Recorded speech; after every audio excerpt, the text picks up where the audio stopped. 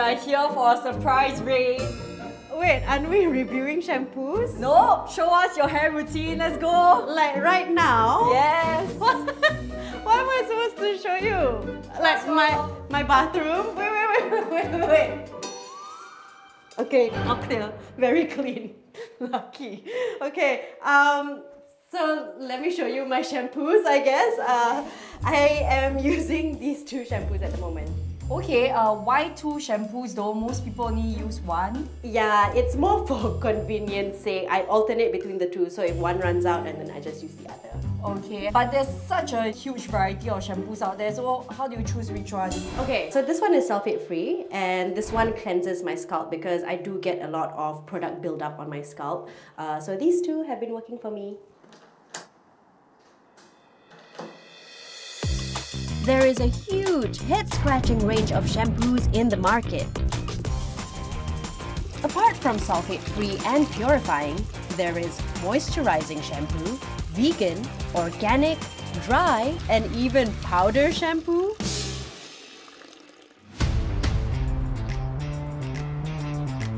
Do you know what dry shampoo means? It's dry, dry shampoo for uh, dry scalp. Like using powder to wash your hair. Do you know what organic shampoo means? Um, I'm assuming it's just something that's more natural based. Yeah, using natural ingredients. Do you know how it does that? Organically. Do you know what sulfate free shampoo means? Yes, it's supposed to be more calming on the scalp. Yeah, less harsh. So most of you are as clueless as I am about the assortment of shampoos. In this episode of Talking Point, I investigate what's in all these different kinds of shampoos and if you could be using the wrong type for your hair all this while. This brings me to Priscilla, a pharmacist who has been using one of the shampoos I'm trying to demystify volumizing shampoo. Alright, we have all these shampoos here, but first of all, tell me, what does shampoo do? Shampoos are made up of very, a very important ingredient called surfactant. Surfactant basically cleanse our scalp. Munah, let me show you an analogy. Imagine this is a surfactant molecule. It has two parts. It has the water-loving part and the oil-loving part. And when you combine them with water, the oil-loving part will pick up the oil and dirt, and the water-loving part will pick up the water. And because oil and water don't mix, an emulsion will be formed. And when you rinse your hair, the emulsion that carries the dirt and oil will be rinsed away. Actually, one of these is not an actual shampoo. Oh, which one? This one. Oh, that's the dry shampoo. This shampoo doesn't contain a surfactant, which cleanses your hair. However, it does contain an ingredient known as starch that picks up oil and dirt on your hair. It's more suitable for travelers, but ultimately, it is still advised that you wash your hair regularly with a regular shampoo. So I cannot substitute a regular shampoo with a dry shampoo. That is correct. So then are dry shampoos the same as powder shampoos? No, they're not. Powder shampoo works like a normal shampoo. You mm-hmm. just need to add water to it and it will lather. Oh, and it will cleanse your scalp and hair as Yeah, well. that's correct. Vegan shampoo does not contain any ingredients that are from animals oh. and they do not go through any animal testing. So doesn't that make all shampoos vegan? Because what shampoos have ingredients from animals? Oh no, actually some ingredients are derived from animals. For example, stearic acid. What is stearic acid? It makes your hair soft, shiny and glossy. This one is one I personally use, the purifying shampoo, and at one point I was using it every day. Is that okay? Purifying shampoos are sometimes known as clarifying shampoos and these contains high level of surfactants which deeply cleanses your hair. Mm-hmm. If you have dry scalp, you may not want to use it every day. It is harsher than the regular shampoo and it may strip off the natural oil further. Okay, then how about sulfate-free shampoo? That's another kind of shampoo that I use regularly. Sulfate is a type of surfactant that you find a lot in shampoos. For example, sodium lauryl sulfate or sodium laureth sulfate you see a lot in shampoos. But why replace sulfate though? Is it because it's really bad for our scalp? No, it actually depends on your scalp condition. Some people may be allergic to sulfate. Some people with dry and sensitive scalp may find it harsh. Right, so that's why they go for sulfate-free because it's something that's gentler on their scalp. That is correct. But if there's no sulfate, then how does the shampoo cleanse the hair? Well, there are other surfactants which are milder. An example is coco glucoside, which is milder on the scalp since it is derived from plant-based ingredients such as coconut oil, compared to common sulfates, which are chemicals. This one is a volumizing shampoo. Well, a volumizing shampoo usually contains wheat protein, which provides elasticity to the hair shaft. It also helps to expand the diameter of the hair shaft, and therefore you get the volumizing look. And lastly, we have the organic shampoo. What are these? To me, I feel that it is a term that's loosely used in the market. Many people think that the regular shampoo contains a lot of chemical, while organic shampoo contains only natural ingredients. But that is not the case. Oh, Shampoos that are labeled organic may not be completely chemical free. Some shampoos labeled organic may not be completely chemical free as they would still contain other chemicals such as sodium benzoate for preservative purposes. I'm curious to know if I have been using the shampoo that fits my scalp and hair. Only one way to find out. A detailed scalp scan, since the condition of your scalp affects your overall hair health.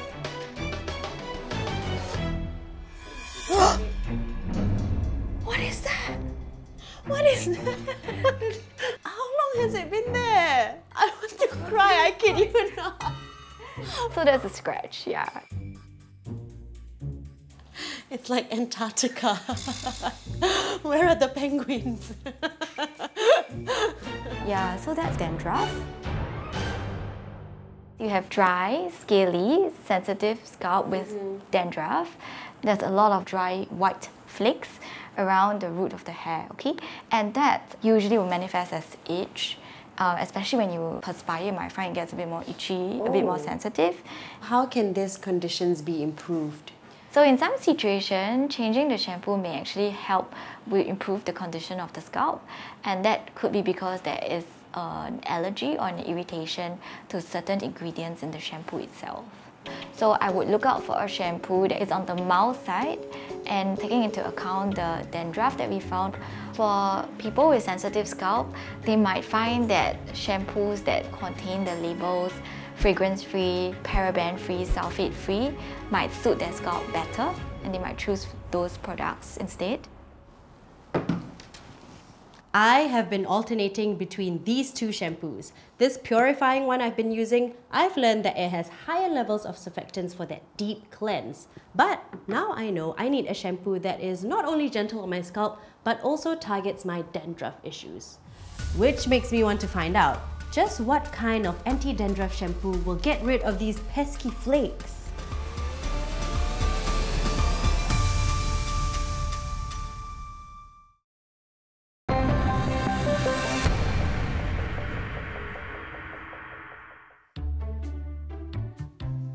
As a teenager, I had dandruff. I remember there were times I would flip my hair and I would see white flakes falling onto my uniform. It was fascinating but also embarrassing. I thought I was rid of the problem, but turns out what I thought was just product buildup appearing on my head is dandruff. And I want to be rid of this problem once and for all. So I'm just wondering, what kind of anti-dandruff shampoo would be the most effective? Dr. Kerr sees over 20 patients with severe dandruff every month, and she's about to reveal a fact that cannot be flaked off. Do you know that regardless of anti-dandruff shampoo, these don't cure dandruff, it just controls it. You can control it such that you don't get flakes or itch, but we can't cure it such that it goes off completely and doesn't come back again. One of the factors causing dandruff is a yeast called Malassezia furfur, and we all have it. This yeast is harmless and feeds on the natural oil on our scalp. But when there is excess oil on our scalp, this yeast overgrows, resulting in an inflammatory response which then leads to excess shedding of the top layer of the scalp. So I used to have dandruff as a teenager, but then it just disappeared one day. okay. So can you explain to me what happened there? A lot of times, if you had it as a child or teenager, after puberty, it actually improves as your immune system matures. But you may find that sometimes if you're a little bit stressed out, you don't wash your hair frequently enough, it does come back a little, but maybe not as bad as previously. So there are shampoos out there that target dandruff. Which one's better at controlling the symptoms of dandruff? So this depends on the severity of your dandruff, mild, moderate or severe. So having zinc pyrithione and salicylic acid in the active ingredients list in regular shampoos would help in dandruff by reducing the inflammation and yeast. For organic anti-dandruff shampoos, some of them do contain salicylic acid as well, you have to read the label. Some of them also have zinc, but a lot of times they contain mainly essential oils in the form of tea tree oils, uh, jojoba oils. So tea tree oil also has anti-inflammation properties, but um, it doesn't target the yeast component so well. If you're looking for a shampoo that helps organic versus regular, the most important thing is to look at the ingredients list. If it has zinc, if it has salicylic acid, that would be good. Guess when it comes to anti-dandruff shampoo for my scalp, I'll be looking out for zinc pyrithione and salicylic acid. I have something to show you. Lately, I've noticed that my hair has been falling a little more than usual. My hairdresser tells me we drop around 50 to 100 strands of hair each day, but this is after just one hair wash. I'm not sure if this is normal. अगर आपके बाल बहुत झड़ रहे हैं बालों में growth नहीं हो रही है तो आपको सिर्फ प्याज लेना है ओनली प्याज This video shows a homemade remedy for hair fall using onions. It's racked up over 28.3 million views on TikTok. A quick search online also led me to an onion shampoo.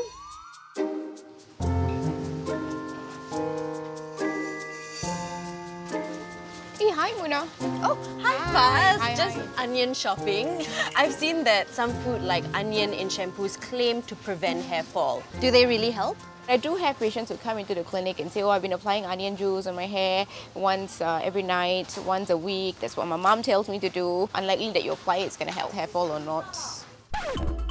This is Faz Iqbal. She helps people with severe hair loss issues. Onion is present in a lot of dishes that we eat. It's one of the basic components you have when you're cooking. But whether it really prevents hair fall, no.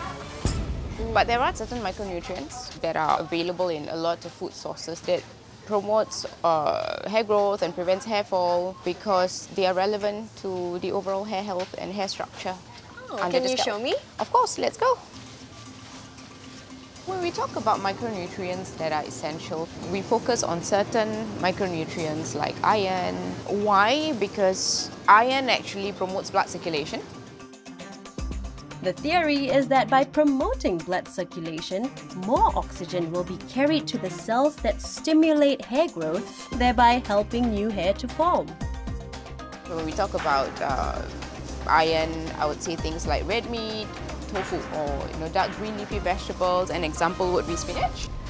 So, how do you actually tell if you are deficient? So in our practice, we perform hair loss specific blood tests where we look at the micronutrient level that are relevant for overall hair health. Depending on the level of deficiency, I actually then prescribe a certain dosage of supplements. At some point, stop taking those supplements and convert to um, good food sources. Other crucial micronutrients for hair growth include vitamin B12 found in eggs and milk, vitamin D found in mushrooms, and zinc found in sunflower and pumpkin seeds. But to know if you are deficient in these areas, you need to go for a blood test. Should I just go for anti-hair fall shampoos to prevent excessive hair fall? There's no such thing as anti-hair fall shampoo. There's no ingredient for shampoo that helps to promote hair growth or prevent hair fall. When we talk about hair fall or even hair loss, all that evolves around the follicular structure of your hair. And that is found a little bit deeper than how deep these anti-hair fall shampoo used topically can reach. Then why are anti-hair fall shampoos selling so much? Because I think people who sell shampoos know what the consumers want to hear, so take marketing with a pinch of salt. Hair needs to go through that natural cycle of shedding and regrowing. Mm. But there are times that you find it's excessive shedding, and that's because hairs that are not supposed to fall are falling. They go into what we call premature shedding, and that's usually as a result of stress. This is a temporary condition, it usually resolves itself after a month and a half to two months. This kind of thing does not lead to you going bald. So for that person who's shedding excessively, she may grab a shampoo and then use it for a month or a month and a half and decide, oh, it's actually stopped my shedding. But it's really not the shampoo. It was meant to stop at some point and regrow eventually anyway. So then what exactly does an anti-hair fall shampoo do? Working like any other shampoo, cleansing your scalp. Doesn't have any superpowers, just cleanses prevent the hair fall. No. Most of the time, excessive hair fall is just a temporary phase brought about by factors like natural hair growth cycle, your hormones, or even stress.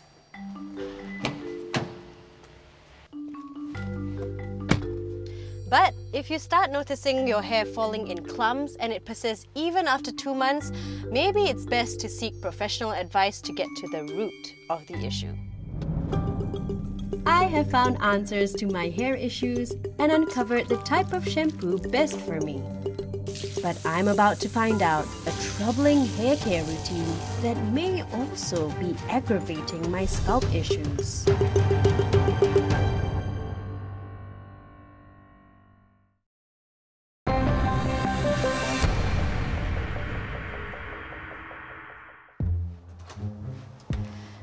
I don't know about you, but I usually only wash my hair every three to four days. I have actually tried washing my hair every day, but it makes it really frizzy and hard to manage. This is Monica. And the difference between us isn't just our hair length. She sometimes washes her hair three times a day. So I actually wash my hair every three or four days, but sometimes I can go a week without washing my hair. Is there really a need to wash your hair every single day? If your hair is straight, you have to wash it more often because our scalp do produce sebum right at the root. And because your hair is straight, the sebum gets spread so fast down the whole hair strand. So you find that the surface area of that oily part of the hair gets a bit overwhelming. If you have straight hair, you ought to wash your hair on alternate days. For clients that have got curly or wavy hair, you probably want to do hair wash once every three days. So you're definitely doing the right thing. But to wash your hair once every week, that is like pushing it a little bit, really. So when I feel like my hair is so clean, I don't need to wash it. Because you're feeling your hair, you're not feeling your scalp. Run your finger through your hair. If you can't feel the oil, put it under the light. If it's very reflective and it's very smooth, it's oily. Okay, let me try it. Mm. So give my scalp a little massage. And oh, how's it looking? It's reflective, so it indicates that there are traces of oil, but it's not overly reflective. Hmm.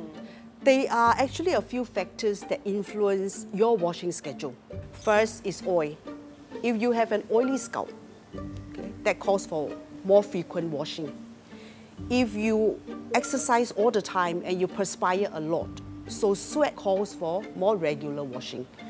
If you use styling products frequently and you are exposed to physical dirt, then that calls for more frequent washing as well.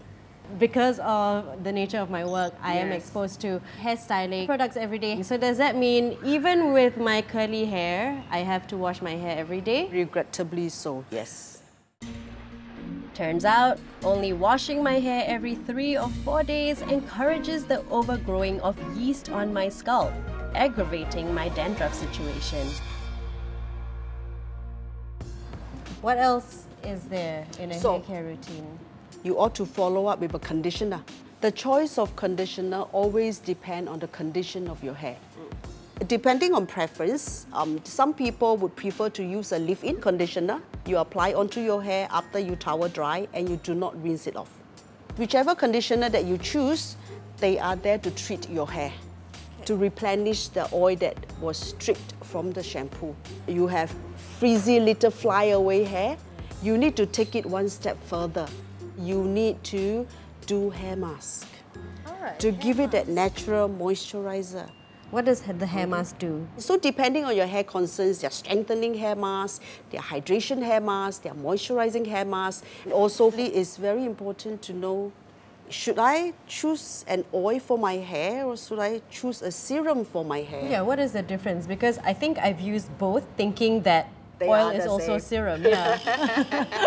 No, no, no, no, no. Oil is a hair care products. So you want to add some oil to your hair so they continue to nourish it. And it, because when you apply oil onto the hair, it kind of laminate the hair. So the hair is not exposed to, to the environment. But oil being oil is oily. It's very suitable for your hair type because you have got voluminous hair. But a lot of people cannot take that kind of weight. And this is when serum comes in. Serum is silicone based. Serum will be a styling product. It, oh. it, it doesn't care for your hair. It helps to smooth out the hair. It helps in detangling the hair. It helps to add shine. And that's what serum does, a styling products. so serum doesn't replenish It your doesn't. hair at all, whereas oil does. That is correct.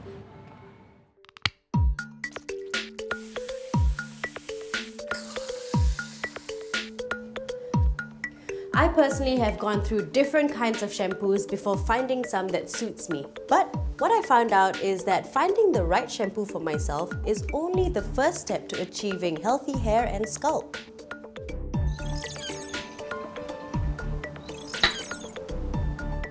I also need to wash my hair more often than I do now and include more of these in my diet for overall hair health.